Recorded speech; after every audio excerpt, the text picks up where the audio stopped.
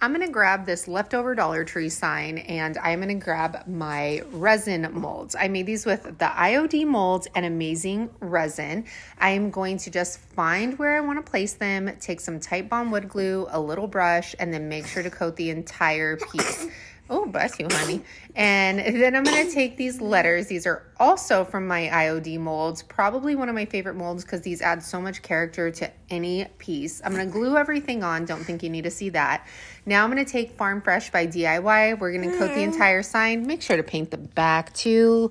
And then I am going to grab Look at how beautiful that dries down. I'm going to grab some clear wax, coat our entire sign. I'm then going to come in with some white wax, coat it, wipe the remainder off with a paper towel. And y'all, a Dollar Tree sign to this. Uh, yes, ma'am. So beautiful.